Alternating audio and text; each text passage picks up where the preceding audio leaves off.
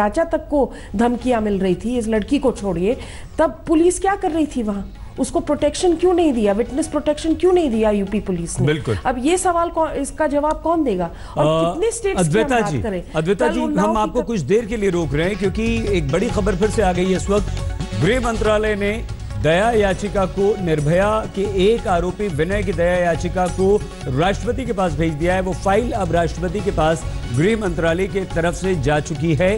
हालाँकि गृह मंत्रालय इसे इस दया याचिका को पहले ही खारिज कर चुका है। दिल्ली सरकार खारिज कर चुकी है और अब ये याचिका गई है राष्ट्रपति के पास। हालाँकि ये उम्मीद हम लोग कर सकते हैं, शब्द भी लगातार कह रहे हैं कि एक प्रोसीजर है। ये एक अधिकार दिया गया है। अपराधियों को जिसका इस्तेमाल वो कर रहे हैं और इसके खारिज होने की पूरी पूरी संभावना